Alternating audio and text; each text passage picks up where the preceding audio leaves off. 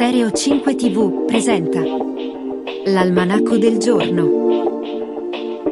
In studio Luigi Commentale.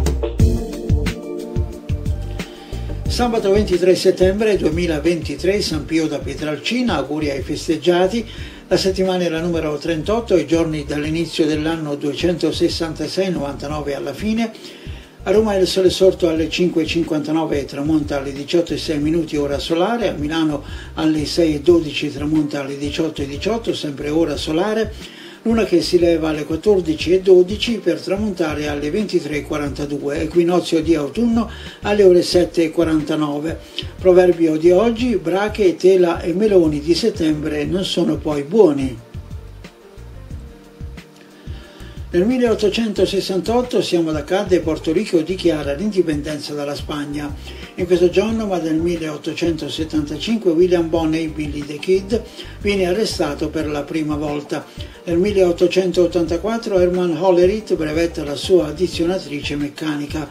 È il 1889 quando la Nintendo è fondata a Kyoto. Il 23 settembre del 1985 Giancarlo Siani, giornalista italiano, viene assassinato dalla Camorra a soli 26 anni.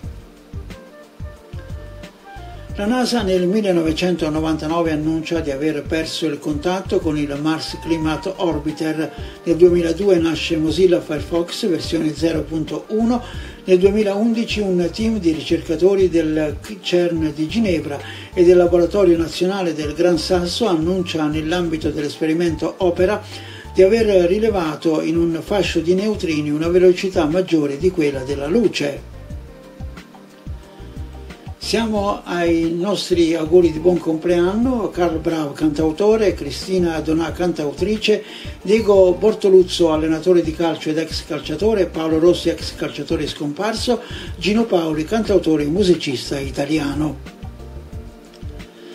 Gli scomparsi di oggi nel 1973 Pablo Neruda, autore tra i più influenti della letteratura latinoamericana, nell'85 abbiamo già detto Giancarlo Siani, un simbolo del giornalismo italiano, nel 1943 Salvo d'Acquisto, uomo simbolo della secolare storia dell'arma dei carabinieri ed eroe nazionale italiano.